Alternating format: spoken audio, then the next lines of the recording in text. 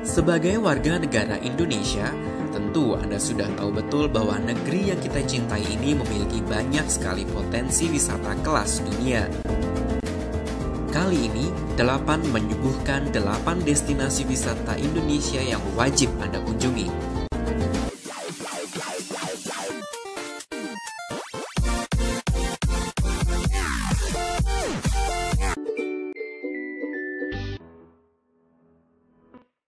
Candi Borobudur. Tentu Anda sudah tak asing lagi. Candi Buddha terbesar di Indonesia, bahkan terbesar di dunia ini, telah ditetapkan sebagai salah satu situs dari warisan dunia oleh UNESCO pada tahun 1991.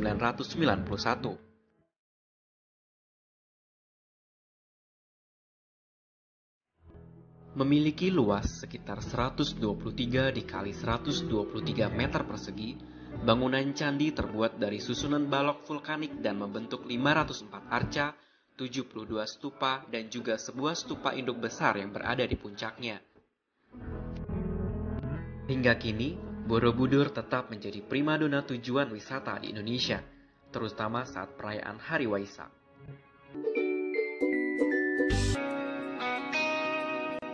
Tujuan utama wisata Wakatobi adalah menikmati keindahan dan pesona taman lautnya yang terletak di jantung segitiga karang dunia. Wakatobi merupakan sebuah gugusan pulau di Provinsi Sulawesi Tenggara. Keindahannya dikenal traveler mancanegara sebagai destinasi wisata bawah laut. Wakatobi sendiri adalah kependekan dari nama empat pulau besar, yaitu Wangi-Wangi, Kaledupa, Tomia, dan Binongko. Pesona Wakatobi menjadi salah satu surga bagi pecinta diving di seluruh dunia.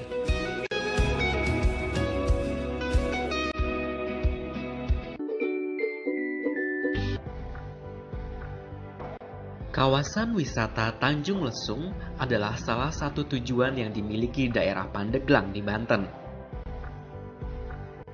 Destinasi ini menawarkan sejumlah tempat menarik, seperti Kampung Wisata Tanjung Lesung, Pantai Bodur, Pulau Liwungan, dan sebagainya. Pantai di Tanjung Lesung memiliki ombak yang relatif tenang dan tidak besar.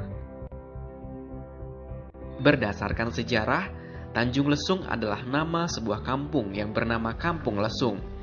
Nama itu dibuat untuk mengenang keahlian seorang gadis bernama Sri Pohaci yang pandai bermain lesung.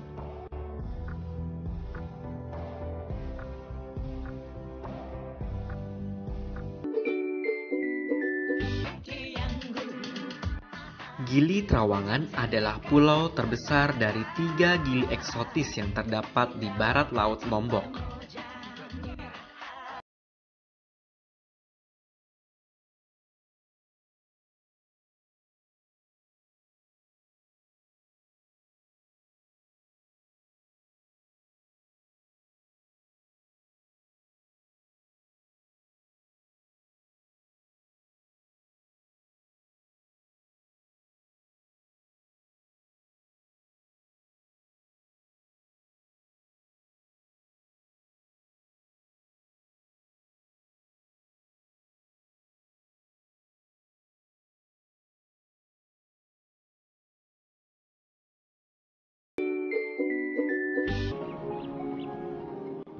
Keberadaan destinasi wisata Ranca Upas Ciwidey membuktikan bahwa Jawa Barat adalah salah satu destinasi kegiatan wisata alam populer di Indonesia.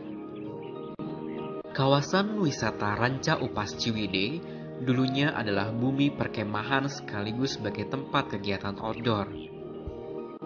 War Games, ATV, dan kolam renang air hangat. Di sini, anda dapat melihat area penangkaran rusa Jawa yang terhubung dengan lokasi kegiatan wisata lainnya, yaitu Outbound Tegal Kawani.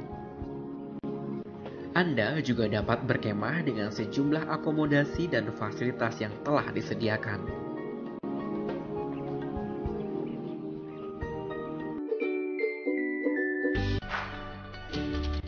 Pulau Komodo berada di Kepulauan Nusa Tenggara, Pulau ini merupakan habitat asli binatang komodo. Terdapat lebih dari 2000 ekor komodo yang hidup di alam bebas. Anda bisa melihat komodo yang sedang mengincar mangsanya di banyak lokasi di tempat ini. Pada tahun 1986, UNESCO menetapkan Pulau Komodo dan pulau-pulau lain di kawasan Taman Nasional Komodo sebagai situs warisan dunia. Pulau Komodo juga meraih penghargaan sebagai New Seven Wonders of Nature yang merupakan penghargaan untuk tujuh tempat wisata alam terbaik di dunia.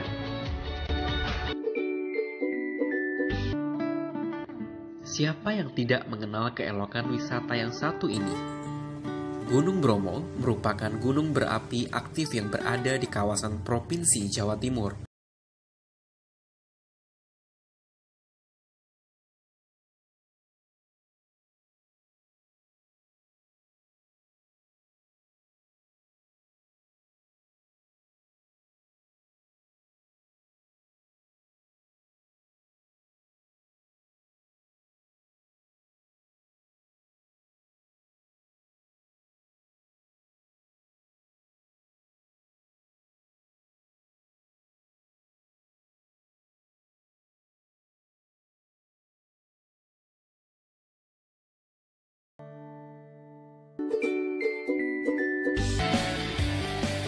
Pulau Belitung atau yang sering disebut Negeri Laskar Pelangi adalah pulau indah yang memiliki sejuta pesona alam yang menakjubkan.